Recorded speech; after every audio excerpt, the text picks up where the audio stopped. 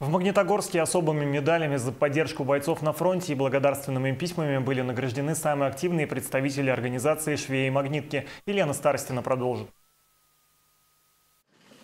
Несколько дней назад в Музее ветеранов Афганистана и Чечни награждали тех, кто формирует гуманитарные грузы на СВО. Сегодня очередь получать порцию внимания и слов благодарности у швей-магнитки. Среди награжденных медалями Любовь Бугранова. Женщина почти 30 лет проработала на швейной фабрике. Теперь Любовь Степановна – одна из лидеров швейного движения. И это уже не первая медаль портнихи. Когда цех открылся, я сидела, это в смысле начинала шить, это спальники. Мне вручили вот за 500 спальников, мне вручили Патриот России. Сейчас вот я это самое, шью одна из цеха, я шью эти антидроновые одеяла. Все, всех парней спасаю я. Так что все они меня благодарят. Вот и сегодня особые слова звучат в адрес швей лично от одного из бойцов. К слову, и он ушел с мероприятия не с пустыми руками. Один из спонсоров передал на передовую тепловизор. И это не единственная поддержка от общественной организации ветеранов боевых действий. Да, новобранцев у нас очень много. На данный момент мы где-то с марта месяца начали финансировать их. Единоразово выплачиваем по 300 тысяч рублей, когда они приходят. Кроме этого, они получают еще от администрации Челябинской области.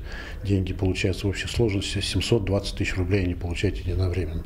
Это они могут закупить себе все, что угодно и пойти более-менее экипированными. Это очень ощутимо.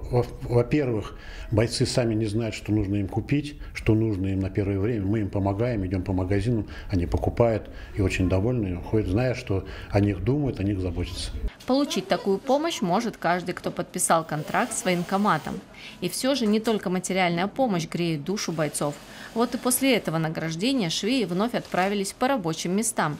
И хотя многие здесь давно на заслуженном отдыхе, ради благополучия мальчишек на фронте, как они их называют, трудятся женщины порой наравне с обычными рабочими. Есть которые целый день. Татьяна Николаевна у нас. Целую смену? Да, целую смену. Любовь Степановна целую смену. Алла Ивановна целую смену. Приходят с утра и вечером уходят.